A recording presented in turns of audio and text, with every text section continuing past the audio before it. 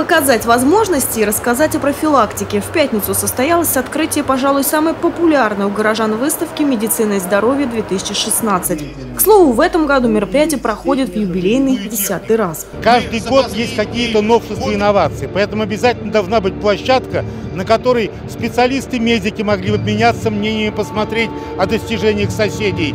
Граждане, пациенты могли бы посмотреть, какие новые возможности им дает современная медицина. Вот для этого мы эти выставки и проводим.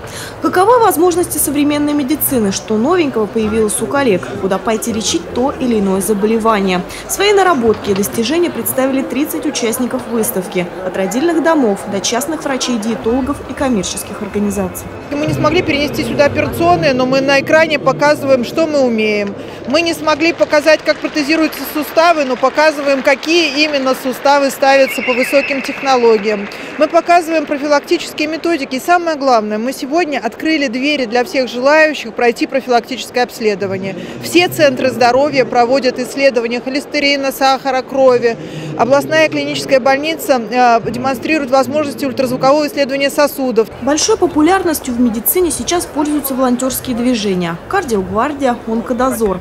Эти волонтеры выясняют у губернатора, знает ли он о проблеме йододефицита. Молодые люди рассказывают о функции этого элемента для организма человека и важности употребления именно йодированной соли. Не существует единого закона, который бы э, обязывал производителей соли йодировать ее.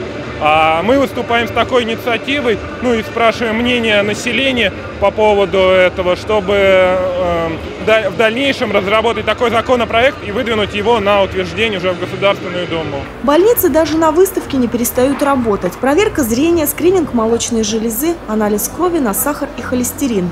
Врач первой городской больницы Марина Шишихина проводит ультразвуковую диагностику брюшной полости и почек.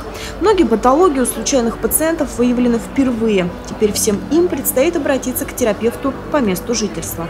Сегодня были выявлены патологии желчного пузыря, желчно-каменная болезнь, камни в почках, расширение чашечно-лоханочной системы. Это патология, которая требует э, наблюдения у врача. Ну а всем желающим после процедур или вместо них полезный кислородный коктейль. Самый подходящий пятничный напиток для тех, кто следит за своим здоровьем.